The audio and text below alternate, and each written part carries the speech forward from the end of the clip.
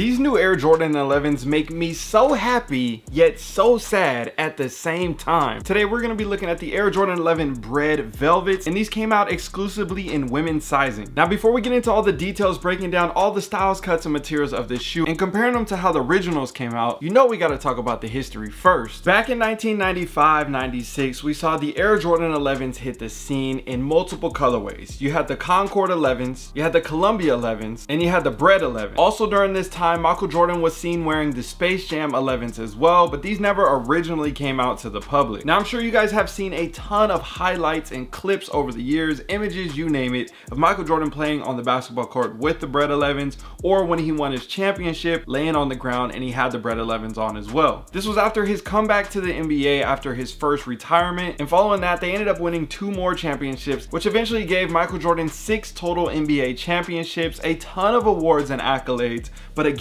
during this time with the Bred 11s and all the other models, the Concords especially, there were a lot of iconic moments, not only on the court, but just in sneaker culture and our pop culture as well. Now we have seen a ton of different retro iterations over the years from the early 2000s to 2008, and then another retro in 2012, and then you had cleats, high tops and low tops. You had regular retros with low tops as well, and we see another low top set to come out next year. So it's easy to say the Air Jordan Bred 11 is gonna be always iconic, and we'll typically see different retro iterations over the years, but nothing like this. Oh yeah, and if you didn't didn't know by now, my name is DJ, and this is the DNA show.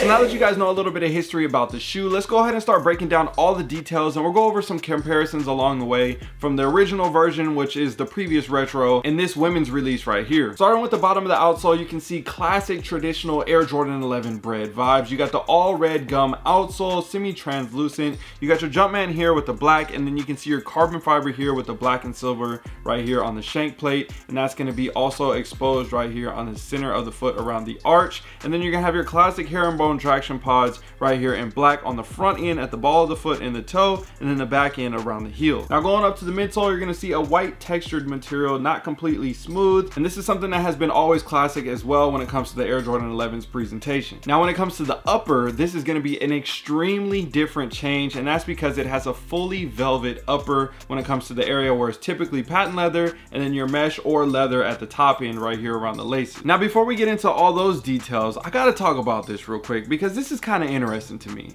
We see the Reimagined series and it's been only in men's sizes for the Reimagined series. And with that series, we've seen some fours, we've seen some threes, we've seen some ones, we got different stuff like that over the years. And it's been about what, five or six different models that have come out over the time. This right here, to me, in my opinion, is the perfect example of the reimagined series and I think it could have easily been claimed the reimagined series just done in a full size run and being given to us for every single size again I'm happy for the women and I'm glad that they got it but at the same time this just embodies Air Jordan 11 reimagined. It makes sense. You take a patent leather sneaker and switch it to velvet, completely opposite material.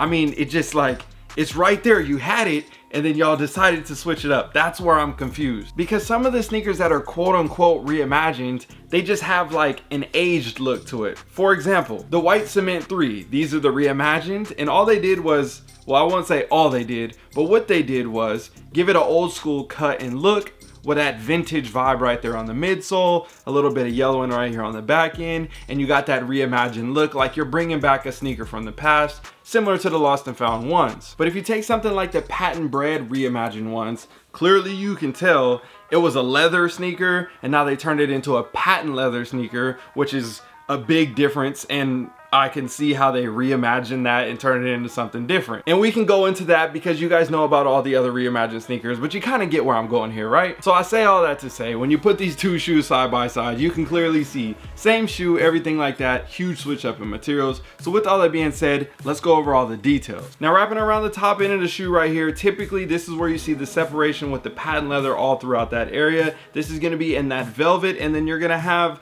it looks like it's kind of rolled over with a nice finish around the edges. So one thing I can say, it doesn't look too rough like a rough cut. I like how they have that clean presentation on the shoe. And I think they did a really good job on the execution, just not making it look sloppy. Now just above that, you're gonna have more of a ballistic type mesh right here where the lace holes go. And that's gonna go in each line throughout this area. And then you're gonna have your lace holes with your rope laces on the front end of the shoe here. And then you're gonna have your velvet on the inside right here all throughout this top of the sneaker. Now typically on an Air Jordan 11, let's say the cool gray 11s for example. As you can see right here, you have that suede kind of material and then you have that ballistic mesh right there. And it's a nice switch up in separation all throughout that area with the tongue. So it's kind of similar to that as we go along. So I like how this element was added and it kind of honestly might have been dope if they did patent leather all throughout this front end and then velvet throughout the top end of the shoe. That might have been kind of clean too. Let me know what you guys think about that down below in the comment section. But overall I think when it comes to the execution and the presentation just with the cuts and the lines and the seams and how they kind of rolled it over and kept it clean even around the ankle area and all this stuff I think they did a really good job and that's honestly another thing speaking of that with the leather typically it kind of wrinkles up or rolls up over time and you see that creasing in it around the heel when you put the shoe on or if you wear it I don't think you're gonna have that issue with this shoe so I think that's gonna be a very convenient thing as well when it comes to rocking this sneaker. So that's definitely another plus when it comes to overall wearability of the shoe. Now another dope hit on this sneaker that I really, really love is gonna be the red branding that you see here on the tongue of the sneaker. Now typically on the bred 11s, you're gonna see a white text with a red Jumpman, but this is actually all in red text throughout the tongue. And then on the back end right here, you have this raised and it's like a plastic piece here and that's gonna be in a red metallic Jumpman here, which is similar to kind of like how you've seen your Gratitude 11s or something like that, just giving you that vibe. Even, I forgot to mention earlier, you have other Velvet 11s that have come out for women in the past. You got a burgundy colorway, you got a navy colorway, you got different things like that. Even similar to the Stingray, the black and gold colorway, which I think is like a OVO 11 in my opinion, but that right there very similar. So i like how they added that premium touch. And i think honestly when they come to women's sneakers they always do a really good job on execution and giving us a nice premium element to all the shoes or at least the vast majority of them. Now another premium hit that a lot of people may not notice or even care about is going to be that 23 right here on the back. You're going to see that in that same kind of rubbery plastic material on the back end. Typically, this is gonna be like a heat press or stamped in with those numbers and it's gonna be in that white text. And over time, as you wear the shoes and you have pants on or something, it typically rubs those numbers off. We used to go through this struggle back in the day. I remember I don't know if you guys remember I've been collecting for this long or, or during that time. Remember the early 2000s? Remember after the CDP pack came out and then the next Bred 11s had came out after that? I think it was like 2011, 2012, something like that. Remember the back ends on all the shoes, the, the Space Jams, the Breds, the Concords, the Cool Grays, all that stuff was coming out during that time. The numbers were rubbing off of people's jeans and people used to sell replacement numbers and you would like take it off and then you would try to iron it on and like replace it in like DIY kind of fix your shoe. That was good times. I don't know if you guys remember those times, but I remember trying to do it and I I horribly failed. I tried it on one shoe and I was like, we're definitely not doing this on the other one. I ended up getting rid of my pair. But either way, I like this nice premium touch to the shoe as well. Now going to the back end of the tongue, this is another dope hit that you typically see. Now typically this is actually more of a white text, but it says quality basketball product inspired by the greatest player ever. You're gonna have that stamp right, well not stamp, but tag right here with a red Jumpman in the middle of that. And then on the inside, on the collar, you're gonna have that all black and black behind the tongue. And then on the sock liner, it's gonna be covered in red with a black Jumpman. And let's check these insoles. Actually, they got some polyurethane insoles up in here too.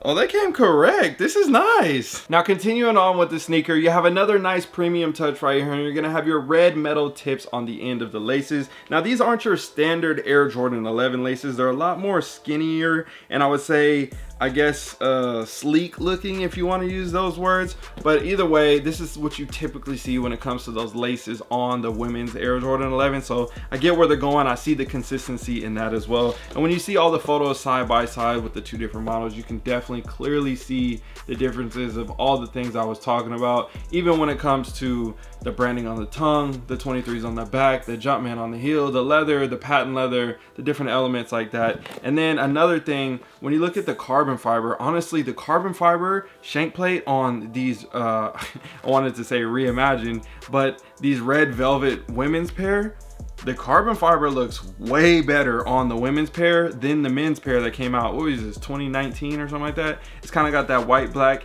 it looks kind of similar to that og vibe but this is just it looks really really nice. So i think they did a good job on that. I didn't even notice that until i look at this right now. So i think a lot of cool details a lot of differences and a lot of reasons why you can love this sneaker. But the only thing that i'm so mad about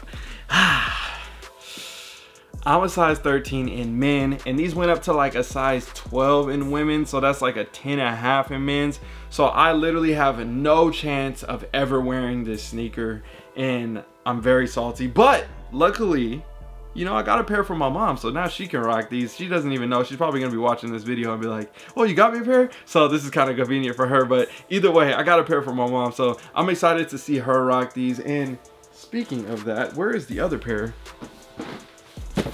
I ain't gonna lie to you. When I saw these, I had to get these. I don't even got no kids yet, but these things go absolutely insane. I'm gonna see, I, I guarantee you, for Christmas, everybody's gonna be buying these shoes for their kids. Boy, girl, you name it, they're gonna be buying these shoes because these things are so clean. Just look at these things. Oh my gosh. Bro, these are so clean. So now that you guys have heard enough about this sneaker, let's see what everybody else thinks about the shoe when it comes to fire or trash because I'm very interested. For me, honestly, I'm gonna say fire, I'm gonna say cop. If this came out in men's sizes or was available in extended women's sizes, 100% cop for me. I think potentially try to catch it on sale, but I think it would sell out in men's sizes, so I'll probably go after it on release date. I think the release in the retro, the what was it, how much, I think it was like 230 bucks or something like that pretty expensive for this shoe. I think these probably more of a, like a 170, 180, probably a price like that. Let me know what you guys think about pricing as well. But I posted a poll on my Instagram story and this is what people said. 50% of the people said fire and 50% of the people said trash. So clearly a lot of people are on the fence and I think once you see the shoe in hand and in person and see all the details and how nice it is, you're gonna like it. And at the same time, you may not like the shoe at all, but still you might respect it and say, you know what? That's a clean shoe. It's not for me, but I still respect it. I can see that too. And some people are like, these are OGs. What are you doing? Why are you guys messing up this shoe? Just give us the classic OG shoe. Stop getting all crazy with it. What are you guys thinking? I understand that too. I've heard that story on a lot of people's sides as well. So I'm interested to see what you guys think. Let me know down below in the comment section. We got a ton more reviews. Where's the other pair at? Hold on. I still got to give you guys a quick early look at the Black Cement Reimagined. We got some ranking videos to do. We got some history videos to do. I'm excited to get into these as well. So make sure you guys stay tuned. Hit the subscribe button for those videos coming very soon. And I'll see you guys in another one. I would never let you down, it's in my DNA. The only choice I like to make, what I'ma wear today. I would never let you down, it's in my DNA. The only choice I like to make, what I'ma wear today. I was made for it, it's in the